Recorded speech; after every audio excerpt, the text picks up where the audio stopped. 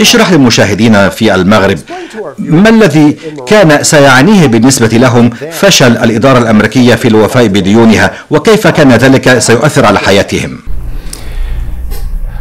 Well, I'm not sure how it will affect the lives directly of Morocco, but it certainly would uh, make life very difficult for the leadership in Morocco because لست متأكدا من الأثر المباشر لذلك على المغرب ولكن بالتأكيد سيجعل الأمور صعبة للغاية على القيادة المغربية لأن الثقة في الدولار كأساس للتجارة الدولية ستتغير خاصة وأن المغرب يعتمد على التصدير لسلع منها الفوسفات.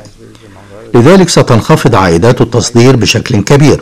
The revenues of the state would probably decline pretty substantially.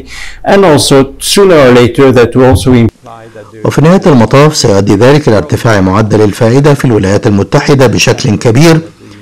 حتى تتمكن من توفير الأموال اللازمة مما سيؤثر على معدلات الفائدة في أنحاء العالم.